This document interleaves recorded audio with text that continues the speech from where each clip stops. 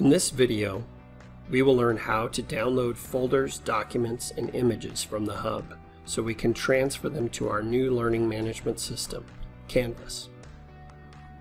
As we transition to Canvas, we will need to move any personal or custom created materials off the Hub. This does not apply to materials created in the Hub by the HISD curriculum team.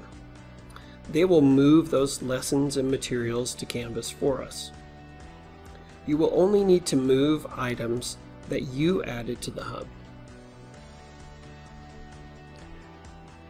Inside one of your courses, you'll want to open the Resources tab. Once you've opened up the Resources tab, you'll be able to see all the materials that you have in your course. Then you can begin going through those materials and decide which materials you need to save or download to move to our new Canvas system.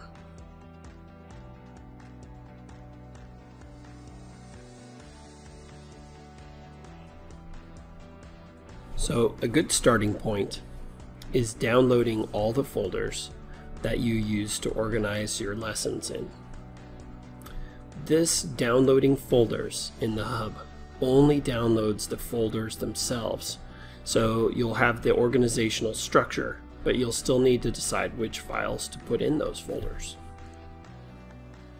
So when I'm ready to download the folders that I wish to have, in this case I want to download this social studies folder and the subfolders that go underneath it. When I'm ready to download those, I will click on that folder and I'll see that I'm in the correct folder up here at the top. Um, and then I will go down to the checkboxes and if I want all of the folders I can click on the checkbox to select all of those. Keep in mind I have a test here and I cannot download the tests. So when I download this, the tests will not show up in my downloads, just the folders will.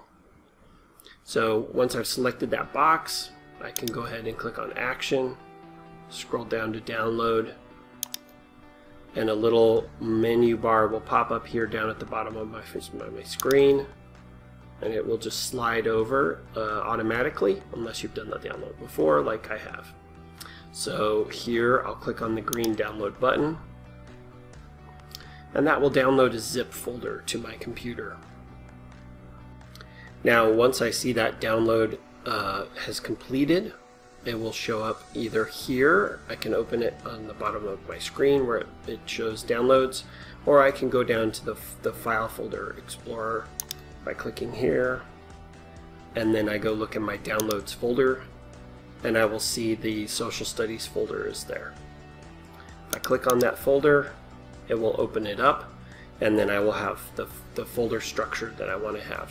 Again, these folders are empty. There are no files in them. Even though I have files on the hub, these folders will still be empty.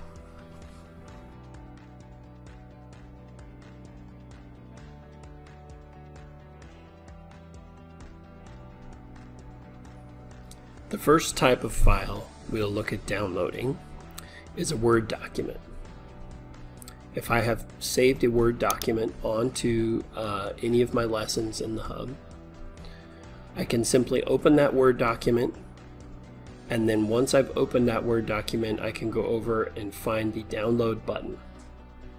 Once I click on that download button it will download a copy of that file into my downloads folder on my computer.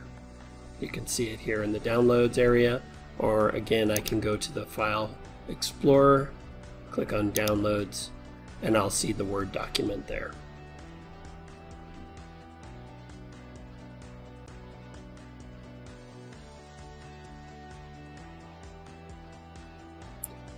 To download a PowerPoint from the Hub, I simply click on a PowerPoint file that I have saved. And the download button is right at the top click on download.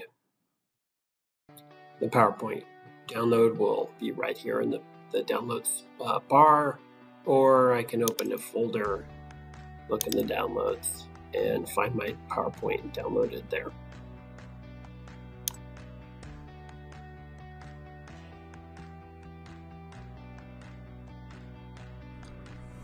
In order to download a spreadsheet or an Excel document uh, from the hub, I will need to click on the Excel spreadsheet that I created originally in the hub.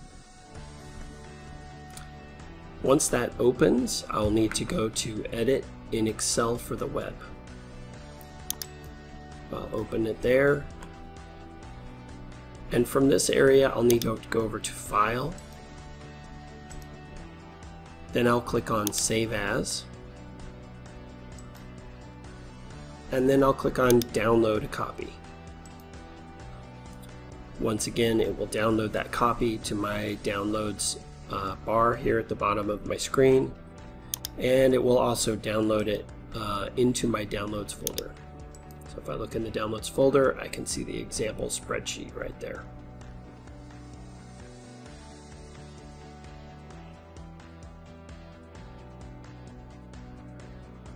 So the other way I can put Microsoft uh, Word, PowerPoint, or Excel uh, documents in the hub is with an assignment. So I could have put those documents on an assignment.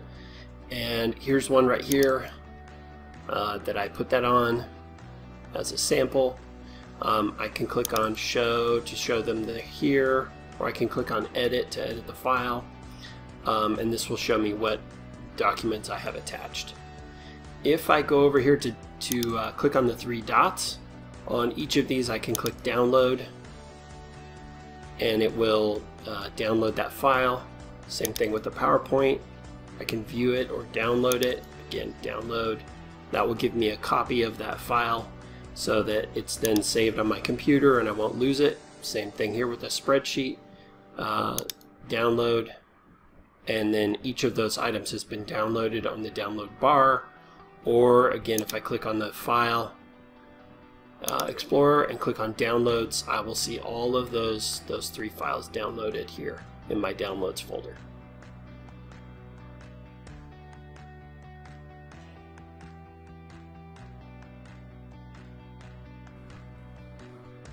Another type of item you might want to copy um, from the hub to our new uh, learning system, Canvas, is uh, images that you um, have uploaded to the hub to share with students. So here in uh, my files, I have an image that I, I want to download off the hub.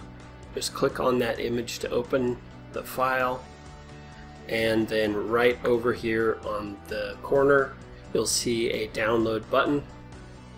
Just click on the download button and once again it downloads the, the picture. You can see your downloads in your downloads bar. Or again you can open up your files and look in the downloads folder and then you'll see that that image there. So that is how you download an image from the hub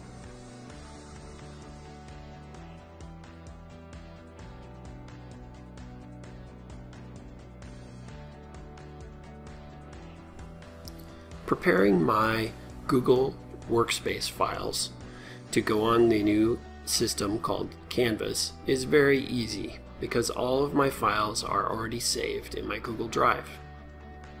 The thing I may want to do is make a copy of the files and put them in the, the right folder in my Google Drive. So here on the hub I have an assignment called Word Builder and in this assignment, there is a uh, Google Slides file that's part of the assignment. To see that file, I just click on Edit the Assignment. Once I'm in the assignment, if I scroll down, I'll be able to see any uh, Google Workspace files that I've placed. So I click on the three dots, and here I have three options. One is to view the slides, okay and that will just let me look at them uh, the other is edit and that will let me change where they're located or save a copy. And then the third one is download. Don't be too tempted by, to use the download uh, button because that will download a PDF copy of the slides. It doesn't give you a Google Slides uh, document. It gives you just a PDF so what I, we want to click on here is edit Once I click on edit, it opens in a new window.